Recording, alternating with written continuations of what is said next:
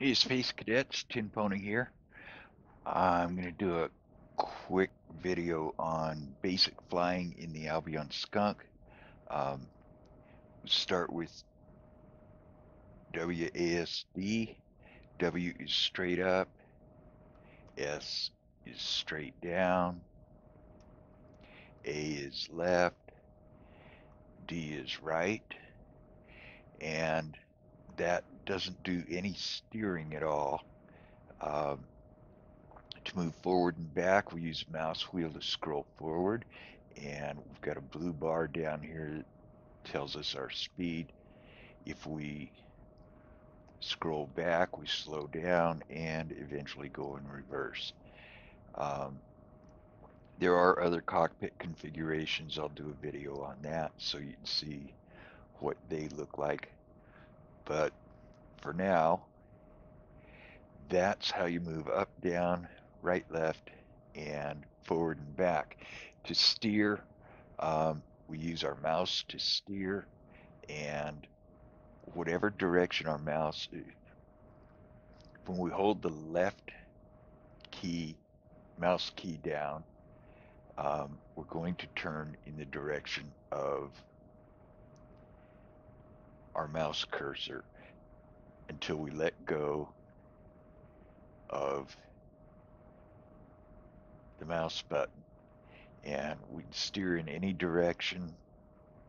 And the further away the cursor gets the faster we'll turn.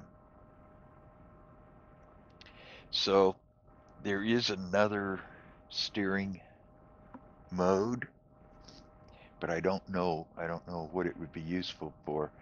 If you press spacebar, now the ship is going to turn in the direction of the cursor. Even if we're, we're not putting any other input into it, it will continue to drift towards the cursor.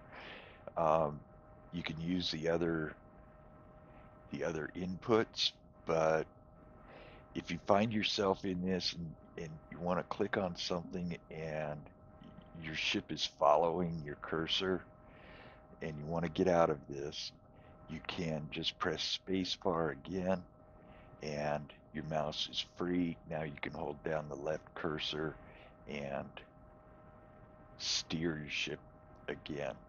Um, that's the way I prefer to play because if I want to click on something like this asteroid, um, now I can do that without without my ship moving and following. Um, going to do one more quick thing here. To move forward quickly, um, what we want to do here, just keep an eye on this is a ship status. The blue line is shields, the white line is hull integrity. And when we're moving forward, we can move forward faster. This is top speed. If we hold down tab, now we're moving quite fast, but our shields are draining. So when I let go, shields stop draining and they start regenerating. So these controls can all be used in conjunction with each other. Um, we can fly vertically, we can fly forward and steer and fly vertically and horizontally or any combination of. So it is a, a very versatile steering system. Okay, so now we know how to fly. Um, that's it for this video. This is Tin Pony. Thanks for watching.